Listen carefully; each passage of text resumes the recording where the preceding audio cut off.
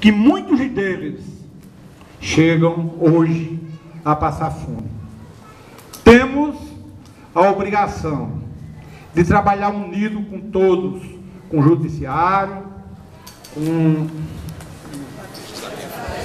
legislativo e com o grupo do executivo, para fazer com que São José do Egito sofra menos do que vai sofrer.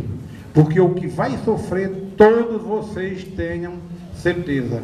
A gente viu ontem ser aprovado a nova PEC de limite de gastos.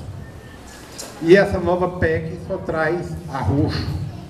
Nós sabemos que a população de São José do Egito está, principalmente São José do Egito, aqui no Pajeú, no eminente risco de voltar a dengue.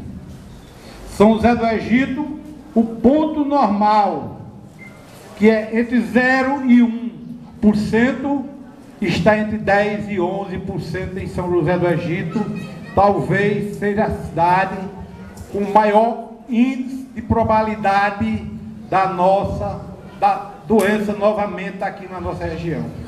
Precisamos que a população comece da agora, cuidando de seus lares e a combater a dengue.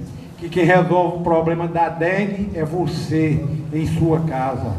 É a luta para fazer com que o, mosquito não sobreviva.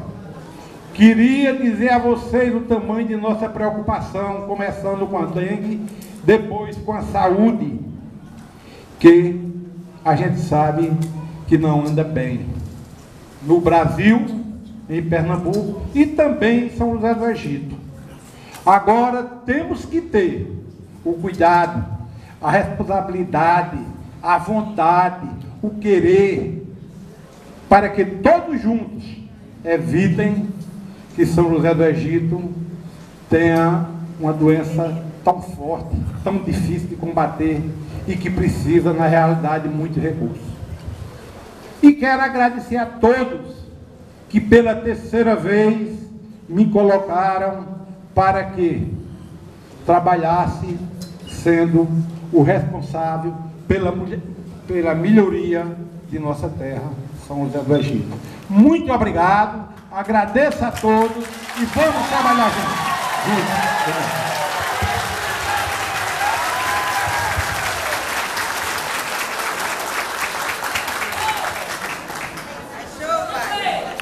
Juntos. Deixa